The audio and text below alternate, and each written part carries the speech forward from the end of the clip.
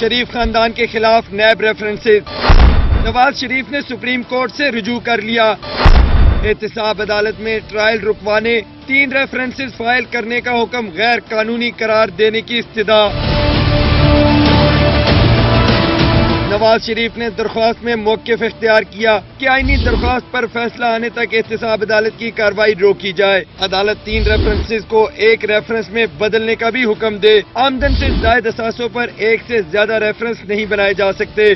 NAB قانون کے مطابق ایک جرم کا ایک ہی ریفرنس اور ایک ہی ٹرائل ہوتا ہے۔ ایک جرم کے تین ٹرائل بنیادی حقوق کی خلاف ورزی ہے۔ سابق وزیر اعظم نے درخواست میں وفاق، نیب، احتساب عدالت اپنے بچوں اور داماد کو فریق بنایا ہے۔ عمران وسیم، دنیا نیوز، اسلام آباد۔